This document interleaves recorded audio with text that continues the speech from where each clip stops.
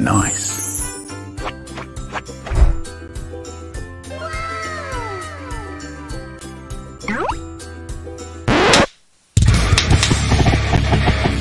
Day 2